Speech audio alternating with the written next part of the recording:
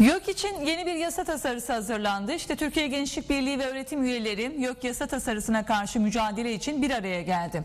TGB YÖK taşı yaklaşıyor, üniversiteler seferberliğe başlıklı afişlerle bu taslağa karşı mücadele çağrısı yaptı. TGB Genel Başkanı İlker Yücel bu tasarıyla üniversitelerin cemaatin ve sermayedarların eline geçeceğine dikkat çekti. Yücel AKP'nin bu taslakla üniversitelere müdahalesini arttırmak istediğini söyledi.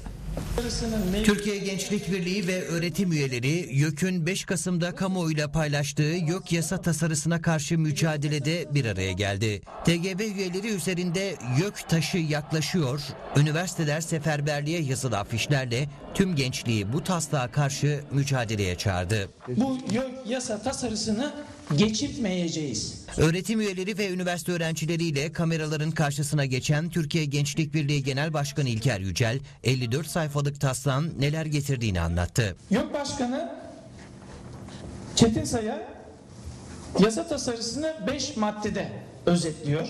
Birincisi çeşitlilik diyor. İkincisi kurumsal özellik ve hesap verebilirlik diyor. Üçüncüsü rekabet ve performans sistemi diyor. Dördüncüsü mali esneklik diyor. Beşincisi de kalite denetimi. Maddelere dikkat ettiyseniz sanki bir üniversite hocası değil de büyük bir şirketin CEO'su konuşmuş gibi algılıyoruz. Yücel, Cumhuriyet'in köklü üniversitelerinin tarikatlar eliyle tasfiye edilmek istendiğine dikkat çekti. Burada cemaat ve kara para düzeninin e, baronlarının istediği gibi at koşturacağı, istediği akademik çalışmaya karışabileceği bir yönetim modeli öngörülüyor.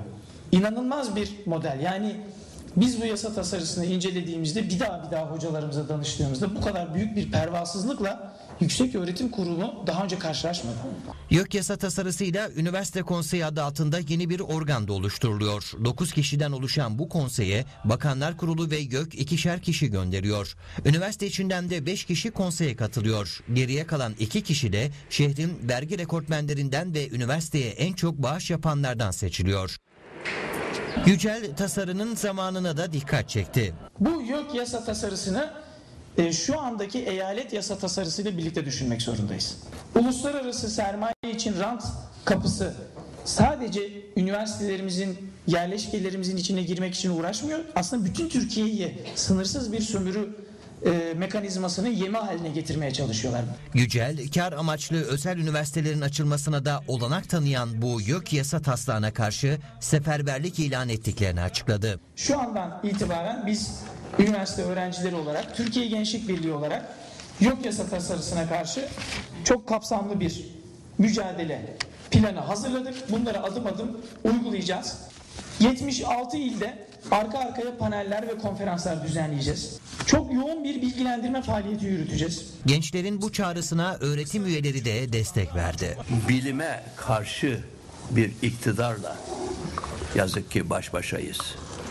Bu iktidar hayatta en hakiki mürşitin bilim olduğuna asla inanmıyor. Türkiye Gençlik Birliği'nin attığı her adımda olduğu gibi bu yeni YÖK yasa tasarısına karşı attıkları adımda da yanlarındayız. Hatta gerekirse onların önlerindeyiz.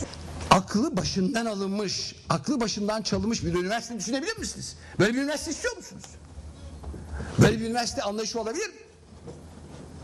Olamaz. Sıkıntımız 1980 sonraki üniversitedeki anlayışla, yapıyla neydiyse bugün de aynı yapıyla, aynı anlayışla, aynı zihniyette öyle bir sıkıntımız ve mücadelemiz, kavgamız vardır. Bu yasanın ne kadar yanlış bir yasa olduğunu, Türkiye'nin altına konulmuş bir dinamit olduğunu Türk toplumuna anlatmak. Onu organize edeceğiz diyor. Bu isabetli bir şeydir. Düş